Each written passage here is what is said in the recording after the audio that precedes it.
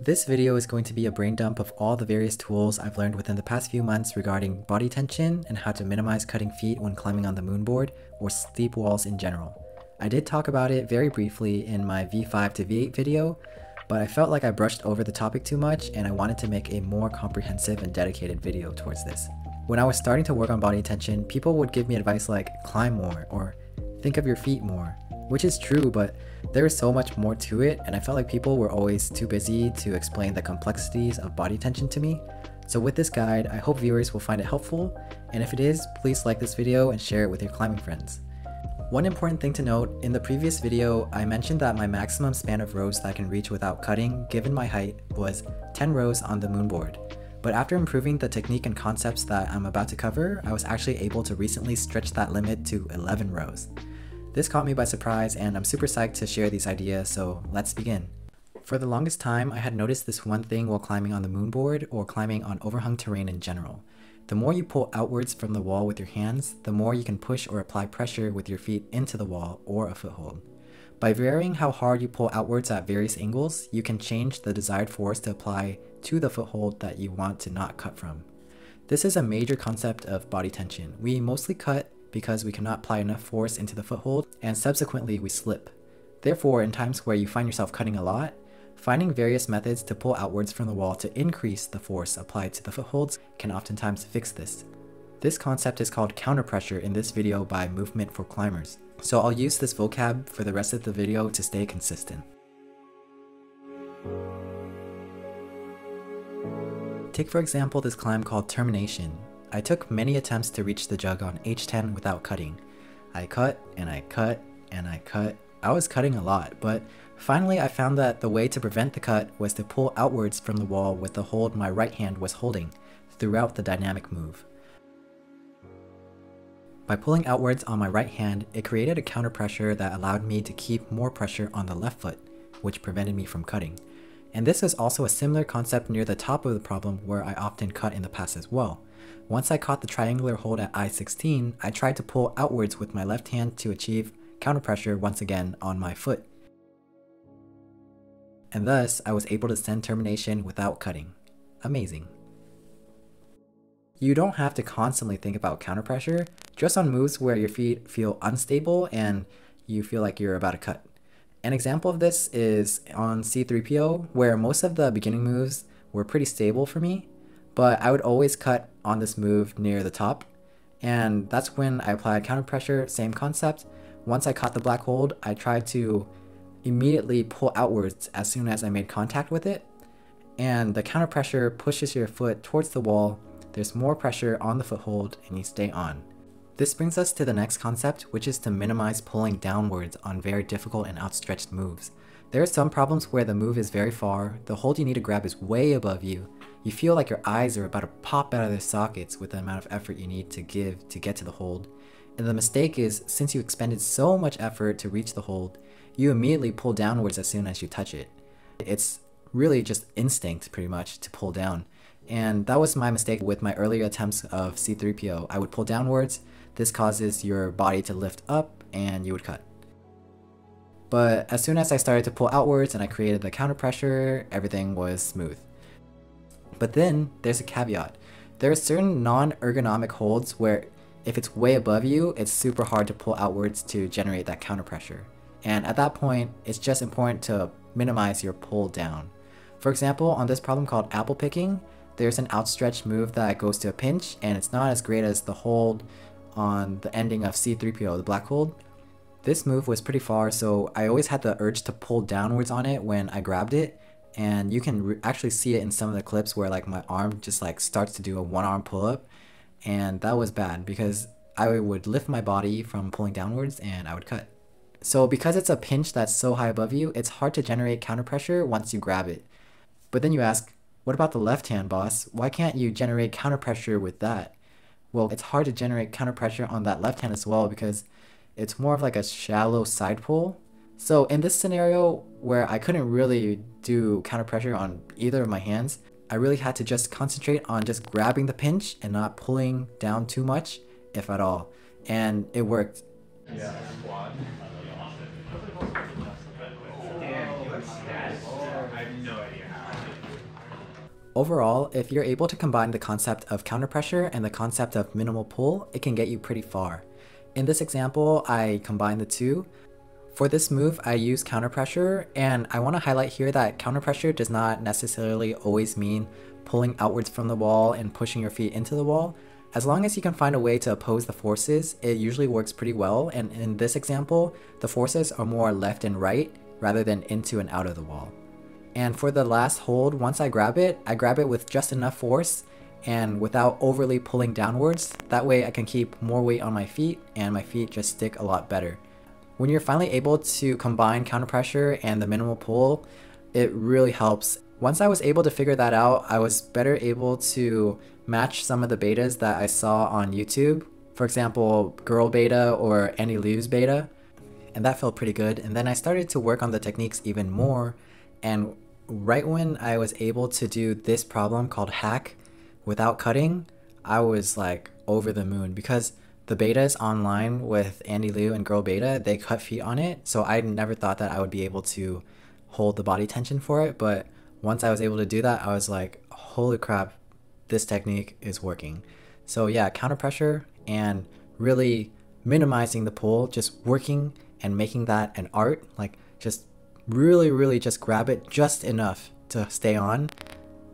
That's the secret. Next, let's explore some details regarding footwork or what to do with your feet in general to gather better body tension. The most common advice I've heard is to really think about your feet.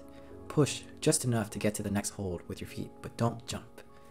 And that's honestly what we all need to practice. It won't come in just one session, especially if you haven't climbed with these ideas in mind before, because I think for beginner and intermediate climbers, there's such a disconnect between our upper body and our lower body. And that disconnect just gets amplified when you're put on a steep wall. So really, you just have to practice your footwork every single session, and after a while, you'll be able to differentiate which moves you can really care less about good footwork and which moves you have to be really delicate on. Alright, so if you thought that footwork advice was pretty boring, I feel you because I thought that way too. So that's why I want to share something that I found way more helpful. One very high yield point is to implement exercises that target your posterior chain in the warm up. When I talk about posterior chain, I'm mainly talking about your core, your lower back muscles, your glutes, hamstrings, calves. In my previous video, I mentioned a posterior chain exercise recommended by Hooper's Beta. While I do use that to strengthen my posterior chain, I found it to be very important to do a slight variation of it before my moonboard sessions. You can look at it this way, we train our fingers so much, but for each session, we still need to always warm up our fingers to not only prevent injuries, but to also wake them up and make them strong. This is the same with the posterior chain and other lower extremity muscle groups. Most climbers prioritize warming up their upper body way more than their lower body. That's why I think it's very interesting to watch pro climbers warm up sometimes, especially the warm up scenes from the Ross and Tim vlogs. After trying to copy them, I just feel like a full body warm-up leads to a much better climbing session. In terms of better footwork for body tension, adding a leg warm-up has been key for me to reliably wake up and activate my posterior chain because it allows me to achieve stronger control of my footwork and thus more body tension. It makes a huge difference on your ability to just arch your back backwards, to engage your lower back and your glutes, your hamstrings, your calf to hold your body tension, and really to just claw down on the footholds.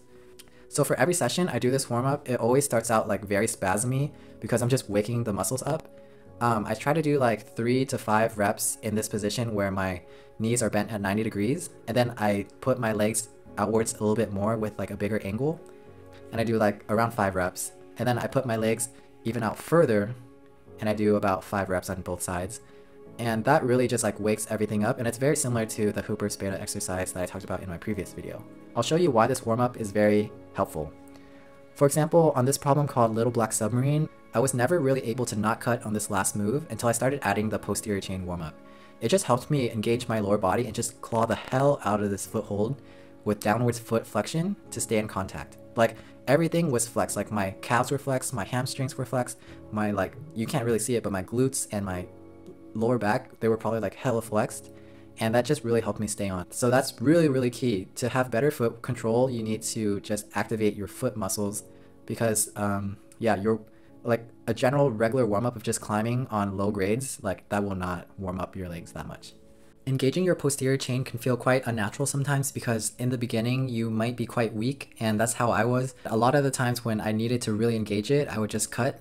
But after deliberately practicing it quite a bit, I revisited some problems that I used to cut before and I was able to just stick the move. And I thought it was kind of cool because on this problem, I was also able to skip one of the holds. And yeah, just keep in mind that even though you practice a lot of posterior chain in your strength training, whether that is TRX or even deadlifts, you still need to warm up and awaken those muscles every session just so you can engage it to the fullest. The next concept to discuss is actually quite interesting and it's leaning in the direction of pull. Out of all the V4 benchmarks that I've done, I would say that the problem 808 was the most perplexing and it took me the longest time to figure out how to not cut. No matter how much I adjusted my feet or tried to pull up as close to the next hold as possible, I was never able to stay on. There's something to notice here though. Look at the angle of the hold. It requires a side pull. And the foot was relatively pretty far to the left. I know it doesn't look far in the video, but I'd consider it kind of far. The reason why I couldn't keep my body tension on this move was because I was climbing too square. My torso was too square to the wall. Going back to the concept of counter pressure, remember that? The left foot was too far out left on an already pretty slopey foothold. It's hard to establish counter pressure like this because your foot is way off center. Because I was just climbing square, it would have been pretty hard for me to keep the body tension. So the thing that I did differently for the Sengo was that I was not square for this move. Instead, I tried my best to turn my torso to the left, so I kind of lay back while catching the small black hold. So in cases where you repeatedly fall and can't figure out why, consider if your foothold is way out to one side that it requires you to lean in the direction of pull. It's more clear if I give more examples, like for this problem, it uses the same black hold, but I was able to climb a square. Why? It's because the foot is not forced to be so far away from the center of where your body is. It's literally underneath the hold that you need to catch. So overall, it's easy to climb square on these problems because the feet are right under you and you can establish the counter pressure pretty easily. Another example of a similarly difficult problem, like 808, is this one called Alpine Start, where you have to catch kind of like a side pull with your left leg out really left again. Watch how I lean into the direction of pull and it really helps me keep my foot on just because I'm able to really create like a counter pressure by turning my torso to the left. The broad implications of counter pressure is that you do need quite a bit of pulling strength and finger strength to really pull off all the different angles that you need to pull off the wall.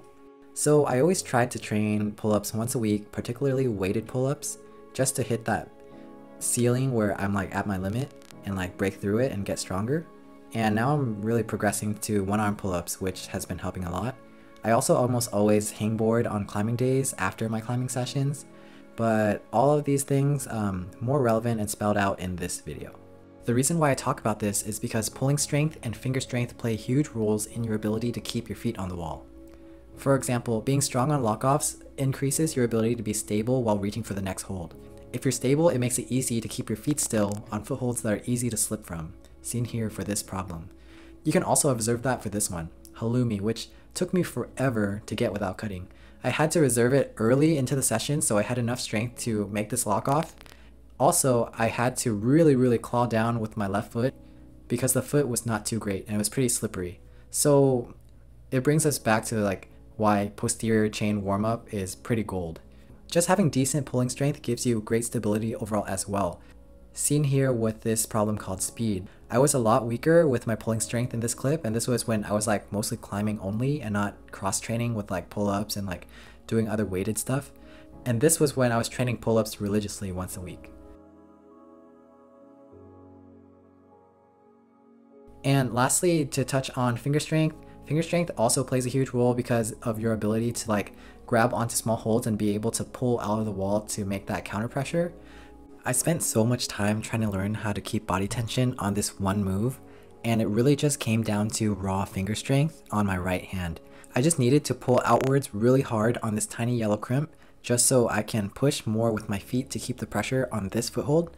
And after strengthening my fingers over the course of like two months, I was finally able to do it.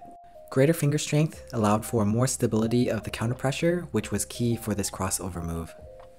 And that's really it for all the things that I learned about body tension within the last six months or so because honestly, like training body tension was my New Year's resolution.